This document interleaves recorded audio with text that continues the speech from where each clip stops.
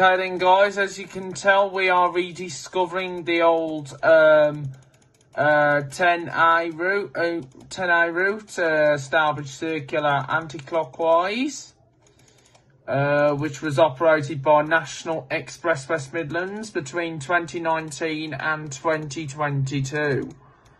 Uh, so anyway, we have just done the loop.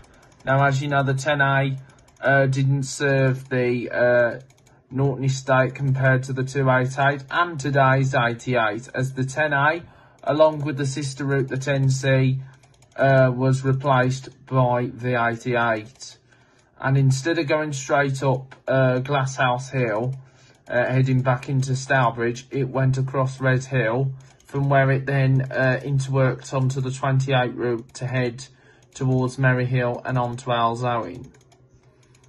And uh, so anyway, here we go.